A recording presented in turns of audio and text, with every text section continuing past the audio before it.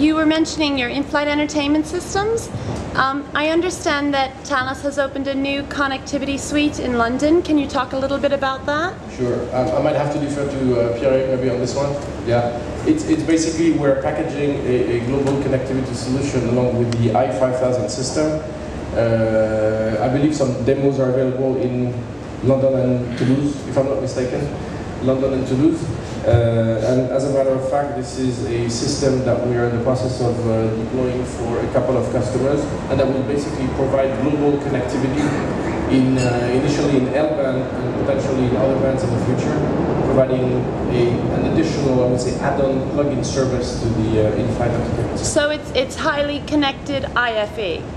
It's a highly connected IFE. Okay. a good summary of the Great, thank you. Providing additional broadband services, live broadband services on board the aircraft.